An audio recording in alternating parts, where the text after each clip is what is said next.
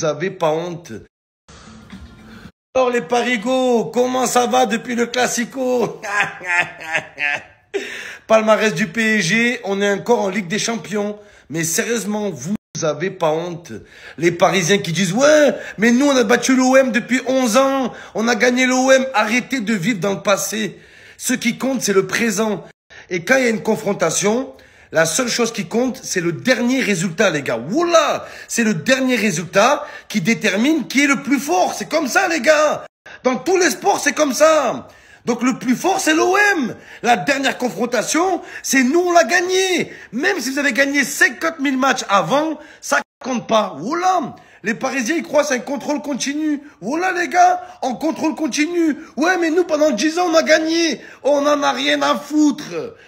C'est le présent Saint-Germain qui compte.